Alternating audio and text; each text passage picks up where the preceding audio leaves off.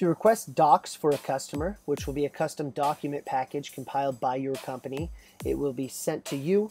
Once you do your part in it, it will then be sent to the customer to sign. After the signing process is complete, it will re-upload to this docs request screen for you to be able to download, reference, do whatever you want with. So to do that process, you'll notice that you want to be on the customer that you want to request a proposal for. You'll have the customer ID, the company name, dates, things like that. You'll also have your notes and files section over here you can always hit this button to minimize that. If we're on the Docs Request tab, this will work all in flow with the customer that we're on. We can go ahead and select an install partner for this job. Sample installer will be what we'll select. You'll notice next one we need to verify the proposal that was used to sell the customer. Now this is a very important part of the process because our system will automatically pull the information out of the proposal you used to sell the customer into this system.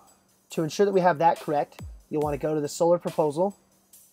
You want to verify the system size, 5.7 kilowatts, and you'll want to verify the cost of the system, 21,375.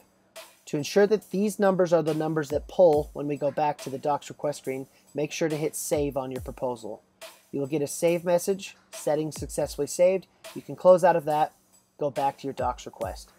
So now that we've been selected our installer, we want to verify the proposal that was sold. We click on this, it will list that proposal number here. And once we click on this, it will auto-populate that section. 5.7, 21,375. So we know that we have the right proposal. If you need to, you can always click on this hot link that will appear once the proposal is selected. This will open up the same proposal we were just on, but once again, it will give you the chance to verify the system size and the cost of the system.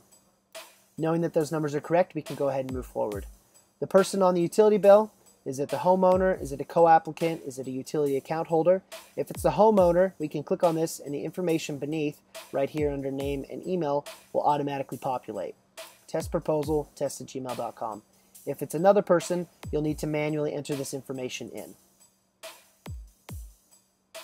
Type in the utility account number, the meter number, and then come down and hit request docs.